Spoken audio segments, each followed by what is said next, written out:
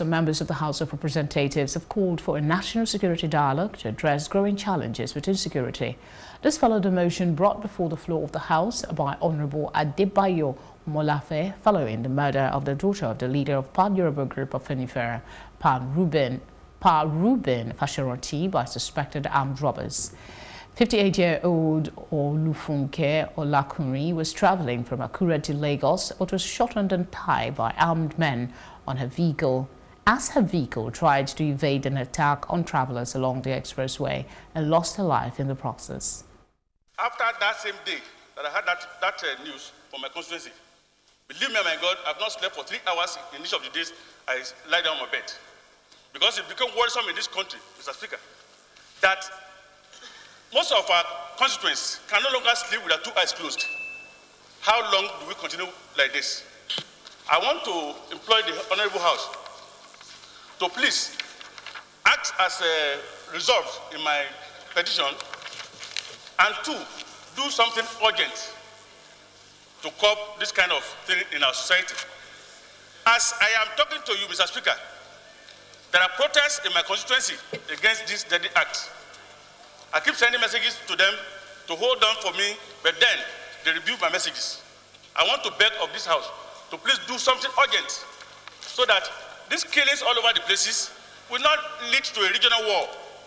It is so worrisome that some of us coming into the National Assembly as first timers, we have monitored proceedings of the House from six, seven, eight assembly, and today we're in the ninth assembly.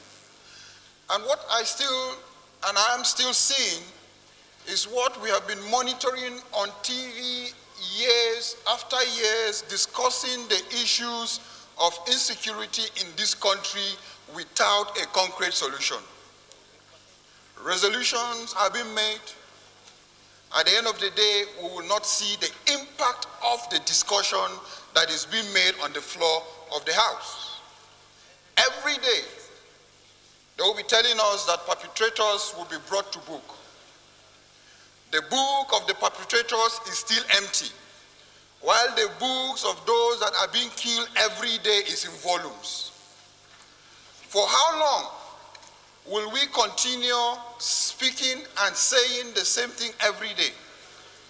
Mr. Speaker, it's time for the House to provide leadership. I would recommend, Mr. Speaker and honorable colleagues, that if this House will agree, let there be a public hearing on the issue of insecurity in Nigeria. We have so many people who are unemployed. Some cannot even go to school.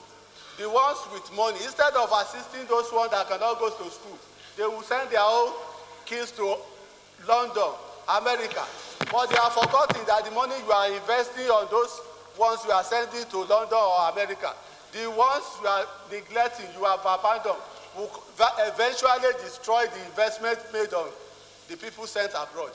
Mr. Speaker, I want to appeal that we should all be sensitive to our, our environment and that see security problem as a collective responsibility. Nigeria's immediate past president Goodluck Jonathan on Tuesday visited Afenifere leader Reuben Fasoranti after the death of his daughter Funke Olakunrin. The former president had earlier condoled with Fasoranti after sharing on his Twitter handle that his family offered their deepest solidarity now and always. He decried Olakunrin's murder by suspected headsmen, adding that no one deserves to hear such news not the least being Fasoranti, a man that has given so much to Nigeria and asked so little.